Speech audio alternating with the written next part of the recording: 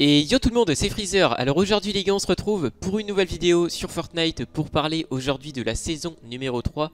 Donc pour ceux qui sont peut-être au courant, lors de la mise à jour de mercredi, on a tout simplement téléchargé dans les fichiers du jeu des premiers indices par rapport à la saison numéro 3. On a déjà des posters aussi qui sont en train de se construire au niveau de Lazy Lake. Et vous allez voir que ces posters là auront tout simplement un petit peu un rapport avec la saison 3. Il y a pas mal de théories assez intéressantes aussi et vous allez voir aussi qu'il y a pas mal de choses qui se lient petit à petit sur la map par rapport également aussi aux indices qu'on a pu avoir par rapport à cette saison numéro 3.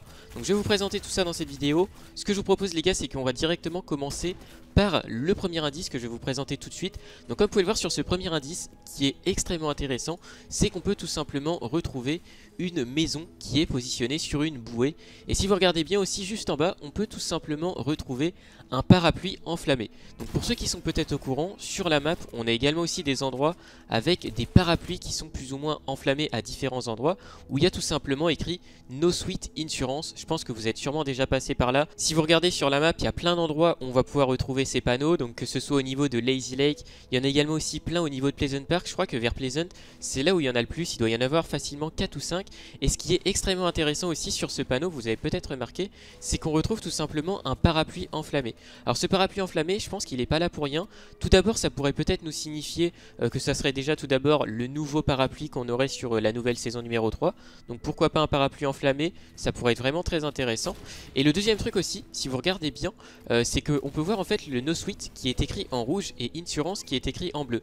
Donc à mon avis, je pense que c'est sûrement peut-être, encore une fois c'est juste une hypothèse, mais je pense peut-être que la saison numéro 3 sera peut-être basée sur le feu et également aussi sur l'eau. C'est-à-dire qu'on aurait peut-être une map un peu enflammée et également aussi une autre partie de la map qui serait inondée. Pour ceux qui sont peut-être au courant, récemment aussi des personnes avaient trouvé que normalement Frenzy Farm serait brûlé. Donc là je vais vous montrer directement un des écrans de chargement qu'on a directement sur le jeu. Comme vous pouvez voir sur cet écran de chargement, donc on retrouve un skin euh, qui est en train de porter, je crois c'est des Boogie Woogie. Et si vous regardez bien derrière, on peut tout simplement retrouver une ferme. Et cette ferme, c'est bien évidemment celle de Frenzy Farm, puisque actuellement sur Fortnite, c'est la seule ferme qui est présente sur le jeu. Et donc comme vous pouvez le voir, elle est enflammée. Il y a eu pas mal aussi d'hypothèses par rapport à l'événement de Travis Scott, puisque pendant cet événement, pour ceux qui s'en souviennent, il y avait une phase où un moment, euh, on avait tout simplement toute la map qui était enflammée, ou du moins en tout cas la partie vers Sweetie Sand. Donc peut-être aussi que Sweetie Sand pourrait peut-être avoir un rapport par rapport à la saison 3. Mais en tout cas déjà ça c'est des premiers indices qui sont intéressants, et je pense que c'est pas là pour rien. Donc euh, c'est tout à fait possible, surtout également aussi pour euh, ceux qui s'en souviennent sur euh, l'un des écrans de chargement de Travis Scott, on avait également aussi euh, pu apercevoir une euh, sorte de sphère avec toute la map de Fortnite. Et donc si vous regardez bien sur cette sphère euh, complète de Fortnite on peut retrouver la ville de Frenzy Farm qui est enflammée. On arrive à le reconnaître, on voit un petit peu des lueurs rouges au niveau de cette zone. Donc ça signifie que cette partie là est enflammée. Donc je pense que à mon avis sur la prochaine saison on va tout simplement avoir peut-être un mélange avec de l'eau et également aussi un autre mélange avec le feu. Donc peut-être des endroits qui seront brûlés et une autre partie de la map qui sera tout simplement inondée. C'est largement possible.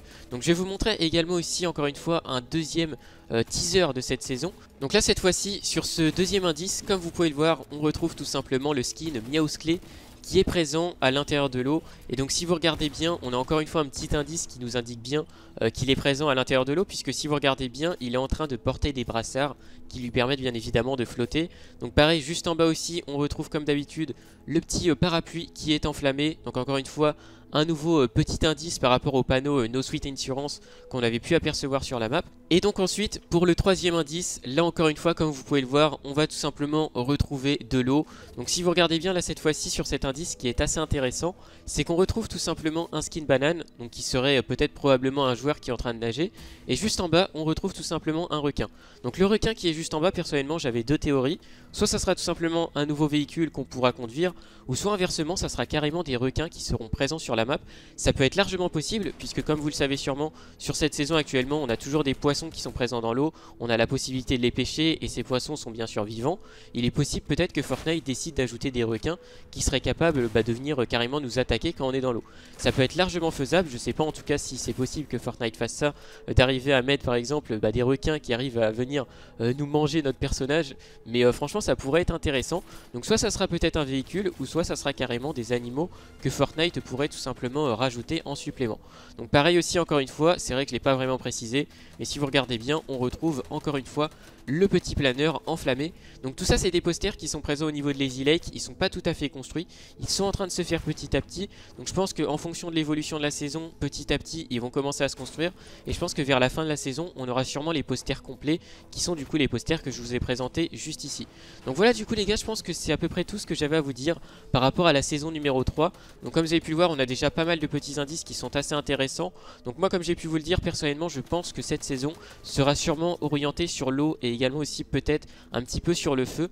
Donc à voir bien évidemment si on a un petit peu plus d'informations dans l'avenir.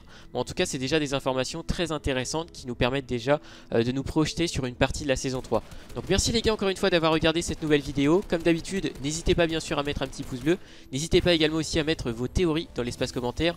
Et surtout les gars n'oubliez pas bien sûr d'utiliser le code créateur Freezer dans vos boutiques Fortnite. Et puis bah nous sur ce on se retrouve donc très bientôt pour une prochaine vidéo.